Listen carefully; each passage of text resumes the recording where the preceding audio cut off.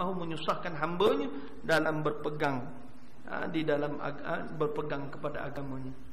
Jelaslah bahawa hadis yang melaknat wanita mengasah gigi untuk tujuan kecantikan adalah tercela tetapi jika untuk tujuan perubatan ini dianggap tidak berdosa dan dibolehkan.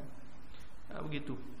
Sifatnya Islam Islam larang sangat melampau dalam ha, dalam menghias batang tubuh ini kerana Islam juga mengutamakan perkara roh Orang sibuk nak buat batang tubuh dia ni cantik dan elok Tapi berapa ramai manusia cuba menjadikan roh mereka hidup yang utama juga dalam agama adalah manusia menghidupkan roh mereka kerana batang tubuh tak kekal. Kita mati, berulatlah batang tubuh kita walaupun kita habis satu juta, dua juta buat hidung comel, dagu. Ya, pembedahan plastik, tukar gigi daripada pakai gigi selada, pakai gigi lembu ke gigi apa ke. Nak buat bagi comel konon. Semua bentuk tu hakikatnya manusia kena faham akhir sekali mereka mati tak beri manfaat pun pada mereka.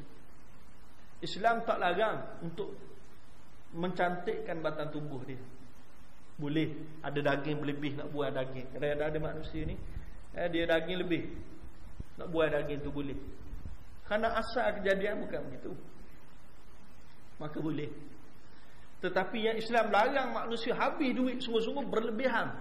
Sedangkan duit tadi boleh habis untuk benda lain tapi dia habis untuk menghias batang tubuh dia. Mengelokkan gigi dengan cara yang melampau. Ha, ha, mencantikkan muka dengan cara yang melampau. Semua itu dilarang syarak.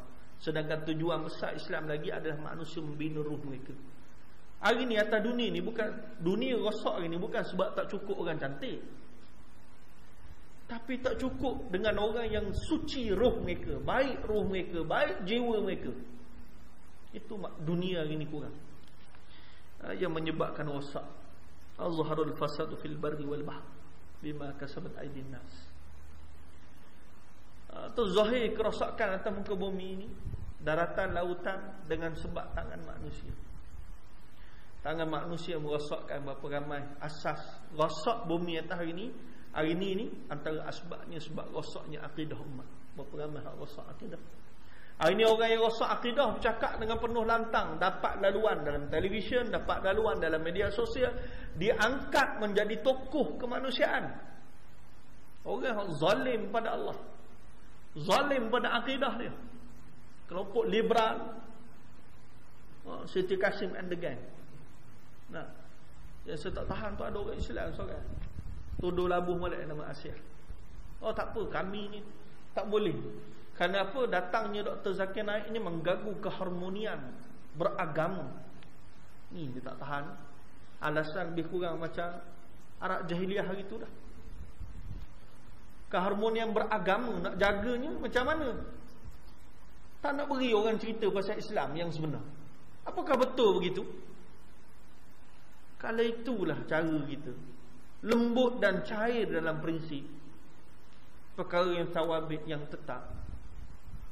Maka kalau hidup zaman Nabi ni orang begini rasanya sembah berhala lama dah. Tengok dalam surah Al-Kafirun asasnya. Orang kafir datang jumpa Nabi. Mari jumpa Nabi SAW Apa mereka minta pada Nabi? Hai Muhammad Kita ni Kita hidup dalam Harmoni beragama lah Muhammad Cukuplah gaduh Kita buat giliran Hari ni sembah Tuhanmu Besok sembah Tuhanku Kita gilir sembah Tuhan Kita bergilir sembah Tuhan Baru harmoni lah beragama datang jumpa Nabi minta yang demikian. Apakah Nabi turut permintaan mereka? Nah, qul ya ayyuhal kafirun. Nah. La a'budu ma ta'budun. Kami tak sembah apa yang kamu sembah. Ha? Nabi tegaskan prinsip. Dalam perkara agama tak ada asas. Islam adalah Islam. Kita boleh cerita bab keharmonian beragama dalam keadaan kita tidak mengganggu orang lain beribadah. Kita tak ganggu orang lain beribadah hatta merayakan perayaan mereka. Kita tak ganggu. Orang nak buat tai pusam di Batu Keh walaupun kita nak lalu jalan tu jam hari tai pusam. Tapi kita tak update Facebook. Wah, ada betul ganggu jalan raya. Tak ada. Bila tahun baru Cina orang bakar mercun. Kita ada anak kecil yang tidur kat rumah kita. Bakar mercun sampai terkejut anak kita tidur. Adakah kita update Facebook ku ajarlah orang Cina ni bakar mercun mengganggu keharmonian kehidupan tak ada. Kita boleh menghormati. Tetapi yang peliknya ada orang Islam boleh pergi bela orang lain untuk menentang Islam. Yang tak tahan tu yang mengaku Islam, Siti Kasim tu. Contoh boleh tengok ada video.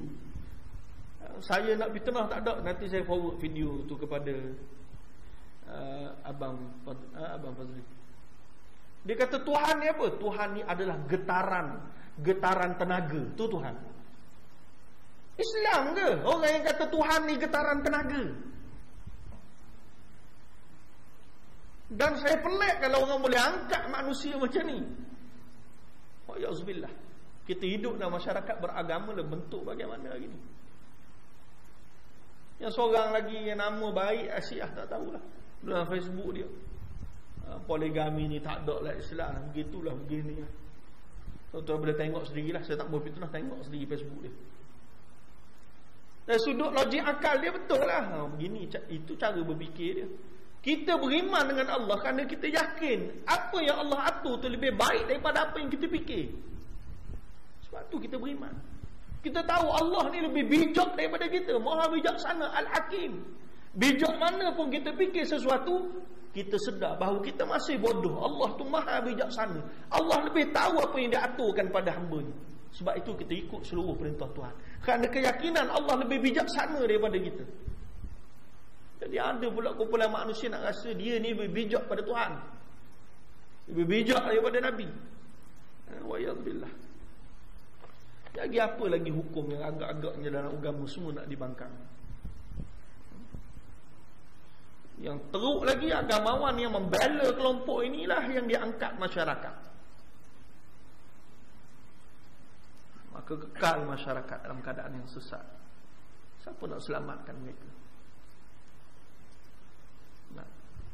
Kalau cakap begini nak Kita tak famous Nak sanggah orang yang famous Alah ustaz apa je Gaji BA ya, Yang yang sokong dia ni PhD ustaz Dia bukan masalah PhD tak PhD Kita hormat orang PhD ni hebat Saya pun tak boleh nak buat hebat mereka Tapi nilai kebenaran Kita bercakap sesuatu Bukan sebab nak manusia sanjung kita kita bercakap apa yang Allah suruh, apa yang Nabi suruh. Itu sifat kebenaran. Jangan bercakap sebab kehendak orang. Kalau bercakap sebab kehendak orang, tak payah mengajar, suruh orang tu yang mengajar. Rahmat Allah balik semula. Ha, jadi mut, ha, mutafal ha, mutafallijah orang yang yang menjarangkan gigi. Ha. Jadi bentuk ha, Orang yang nak ubah ciptaan Allah ha, Daripada bentuk giginya rapat Dia nak jarangkan Maka itu dilarang Tetapi kalau ada pada batang tubuhnya Lebihan daging dia nak buang Lebih-lebih lagi benda tu Yang memudaratkan batang tubuhnya. Maka ia dibenarkan oleh Oleh syarab Maka tak jadi larangan. Bab seterusnya Bahagian seterusnya Menipiskan alis mata Yang kening. Ha, menipiskan alis mata dan kening. Apa hukum? Antara yang dianggap melampau dalam menghias diri yang diharamkan Islam ialah mencukur kening Islam darah ni cukur kening. Nak comel lagu mana pun tak boleh cukur kening.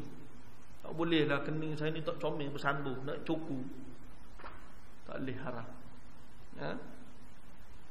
Rasulullah SAW bersabda la'ana Rasulullah sallallahu alaihi wa alihi wasallam an-namisah wal mutanammisah atau wal mutanammisah Rasulullah melaknat orang yang mencukur alis matanya yakni keningnya dan yang meminta dicukurkan alis matanya.